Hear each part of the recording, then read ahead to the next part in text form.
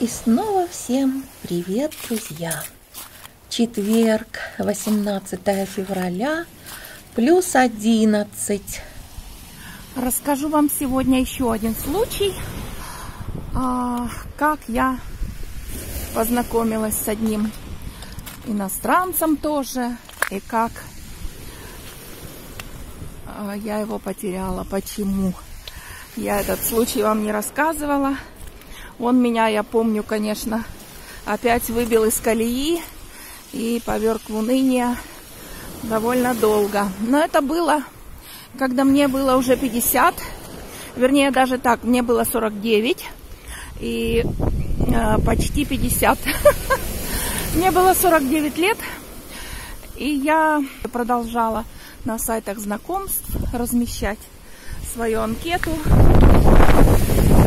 И вот мне написал мужчина. Тогда я сама особенно никому не писала, я все ждала, что напишет кто-то мне. И мне написал мужчина, англичанин, очень симпатичный, очень много мне прислал фотографий. И видно было, что он такой э, зажиточный, даже сказать, может быть, э, больше богатый. Ему было за 60, но выглядел он великолепно, знаете, такой лощеный, хорошо одет, такой, э, знаете, респектабельный мужчина. И, конечно, я, вы знаете, была им очень заинтересована. Мы стали переписываться. Он тоже заинтересовался. Тогда я жила в Архангельске. А, и он меня, когда узнал, где я живу, что я живу на севере России, я показала ему свои фотографии, где я хожу там по заснеженному городу, какие у нас красивые ледяные фигуры бывают зимой. Ну и он, вы знаете, стал называть меня Snow Queen, а, Снежная королева. Это так было интересно для меня, это так было необычно. Как-то вот сразу я его называла мой English Gentleman, а он меня называл My Snow Queen. My Snow Queen Галина. И вот как-то, вы знаете, даже это мне нравилось в нем. И уже у нас наша долгая переписка. Он рассказал о себе, она длилась долго, наша переписка. Ну, как долго? Наверное, где-то в течение полугода. Он тоже сразу предложил, чтобы я приехала к нему. Я сказала, что надо сначала познакомиться. Он мне стал рассказывать о себе. Вот сказать по правде, очень уж это было давно, и много после этого воды утекло. Я не помню. Он только рассказал, что у него в Лондоне есть э, большой дом, очень хороший. Прислал мне несколько фотографий своего этого дома. Там он сидел в таком, знаете, кожаном огромном кресле красивом.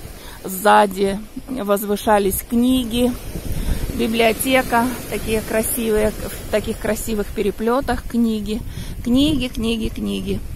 И вот видно было, что, знаете, что-то такое, что-то веяло чем-то загадочным, иностранным, для нас непонятным.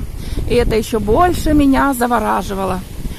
Так вот, а надо сказать, что я тогда, я сказала, что мне было 49 лет, и я тогда как-то оно плохо относилось к этой цифре. И я решила, что я напишу-ка, что мне 45. Так все-таки будет помоложе и лучше, ну, 45 все-таки ж не 50. И я написала в анкете, что мне 45. Всего лишь навсего убавила на 4 года. Ну и когда мы стали уже серьезно переписываться, я говорю, ему было за 60, то ли 62, как-то так. А, вот. И, э, конечно же, представляете, Опять же, у нас почти 20 лет разница. Нет, 15 лет разница. Но все равно разница нормальная. Он старше меня. Подумала я на 15 лет. Это, наверное, даже и неплохо. Потому что к молодым я как-то относилась с подозрением. К молодым иностранцам мне казалось, что они несерьезные. А эти респектабельные мужчины – уже знают, что они хотят. И, конечно же, я отдавала предпочтение вот больше вот такому возрасту, уже за 50. За... Ну и вот, что вы думаете?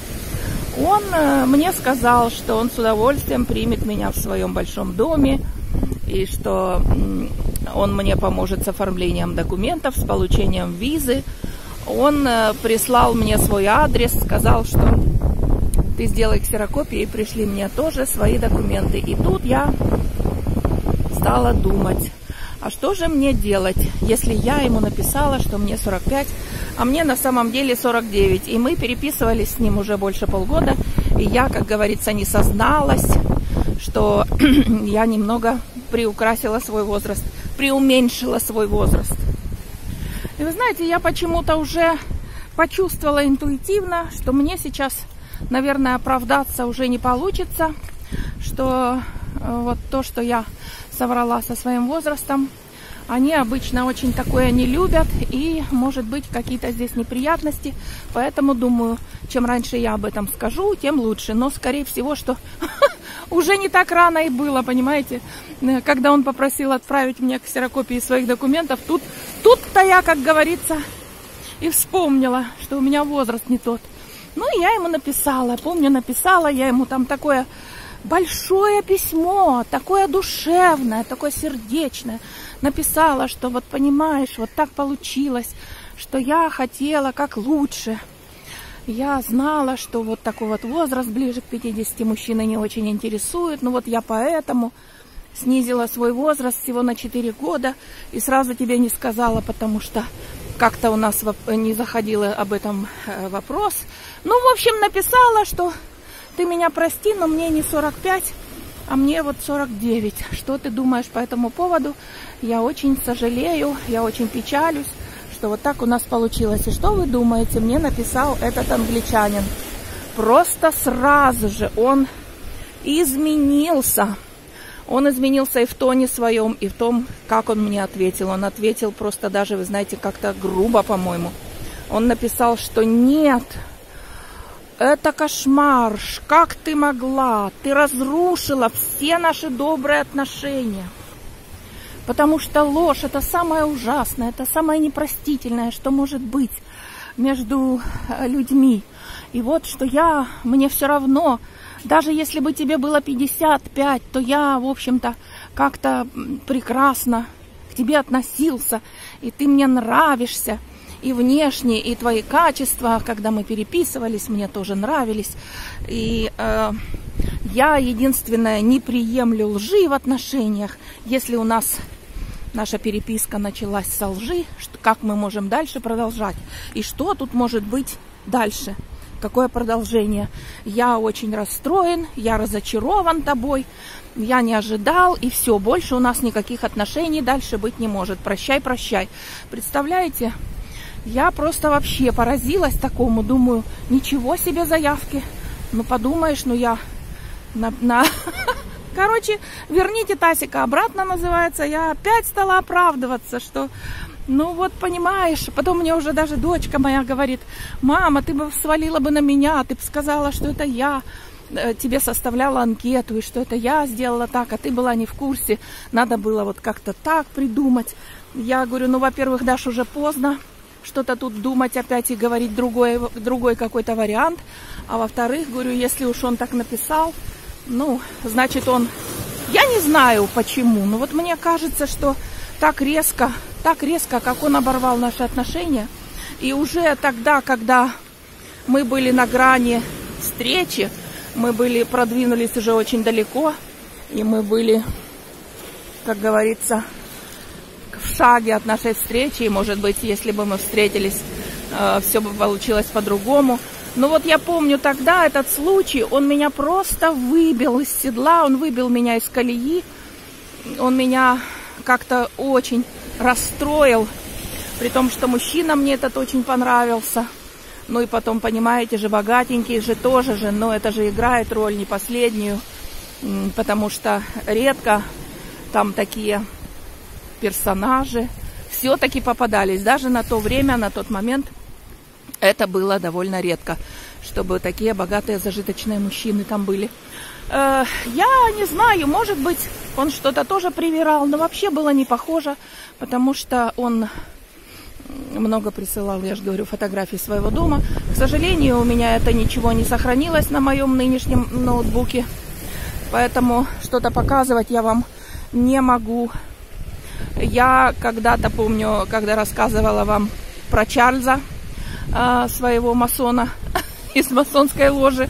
И я имела неосторожность прислать фотографии, сказала, что вот у него была шикарная квартира там в Лондоне, и прислала фотографии. Я фотографии прислала похожие на те, которые он мне присылал. Просто взятые, конечно же, из интернета. Ну и получила я по этому поводу там... Тумаков получила. Мама, не горюй. Поэтому сейчас что-то искать и находить похожее я не буду. Я-то ведь как-то представляла, э, по, судя по себе, наверное, что мы любим слушать какие-то рассказы, да даже книжки читать. Мы любим с картинками. Я вот люблю книжки с картинками, потому что как-то немножко что-то представляешь. Э, не просто пустой глухой текст. Ну и поэтому я и вам тоже в своем рассказе решила показать эти картинки, но меня не поняли, поэтому показывать больше не буду. Я помню, пыталась еще несколько раз написать этому мужчине. Я попыталась оправдаться еще раз и сказать, что вот давай все-таки, может быть, мы встретимся, а потом мы решим, мы все обсудим, я тебе все объясню, почему так получилось. Но он был непреклонен, и он, вы знаете, мне даже не ответил. И вот так вот я его потеряла моего English Gentleman. И больше после этого никто меня Snow Queen не называл. И как мне было жаль. Вы понимаете, наверное, те, кто, может быть, когда-то занимался тоже поиском мужчин через интернет, по сайтам знакомств, может меня понять, как это бывает сложно порой. Как это долго бывает, вот эти поиски, чтобы найти кого-то чтобы познакомиться, чтобы завязалась потом переписка, чтобы был какой-то взаимный интерес. И вот так вот, понимаете, все равно же это как-то начинаешь думать уже об этом человеке. И как обидно бывает, когда вот так вот рушится все, понимаете? Да еще, когда чувствуешь, что из-за такой ерунды ты потерял человека. Конечно же, неизвестно, как бы там у нас сложилось что-то или не сложилось, но все равно мне было тогда, я помню, очень-очень жаль.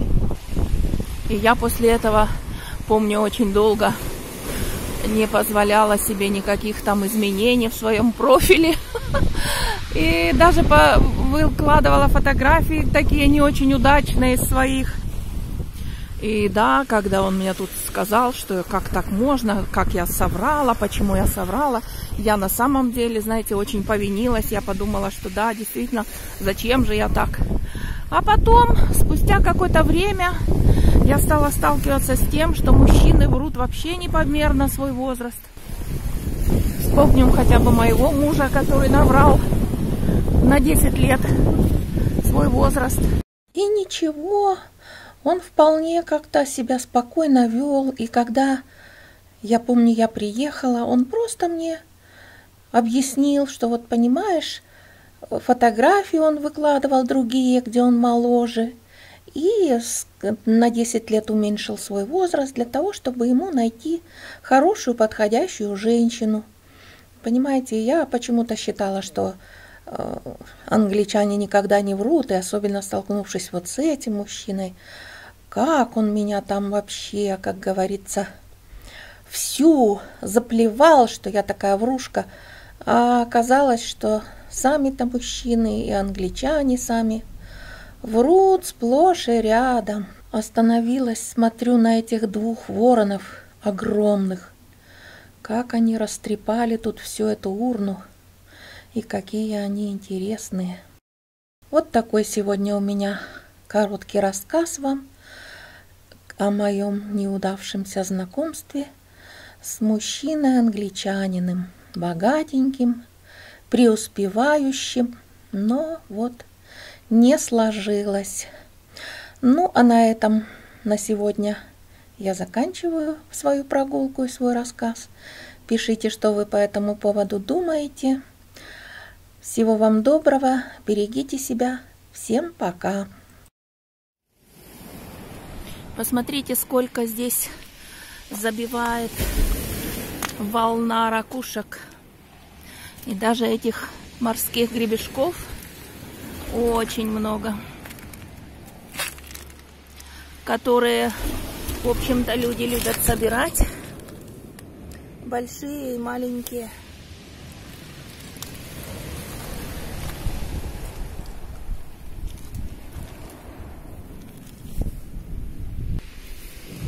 Я тоже собрала неразбитых. И вот посмотрите, как жаль. Рак-отшельник, и он тоже был выброшен здесь. И видно, не смог выбраться. Слишком сильные волны туда-сюда бьют. И погиб.